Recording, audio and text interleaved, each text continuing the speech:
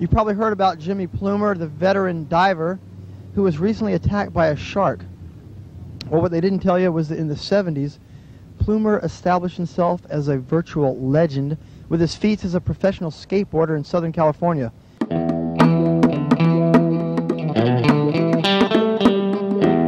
The guys elect to check out some inner city skaters at one of the many abandoned swimming pools that pepper the barrios of Los Angeles. Gives them something to do, you know, yeah. they're not on the streets all the time, just, you know, dealing with drugs and stuff like that, you know, it has them something for them to get into, you know, they can work at.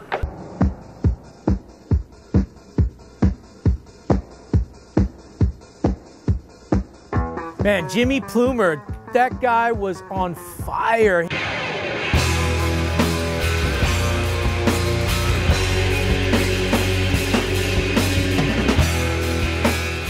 His carving, his two-wheel edge carving photo, and just his backside air on that motorized skateboard, to me, that was the future, and Jimmy Plumer was that guy, and riding for Z-Flex at the time, Z-Flex was like who I looked up to.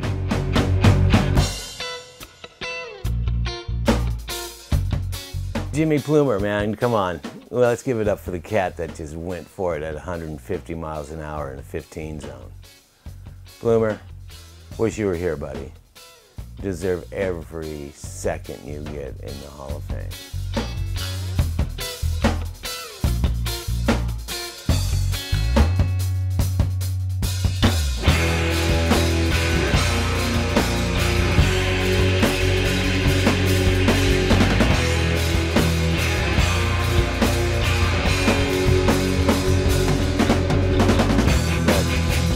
哈哈哈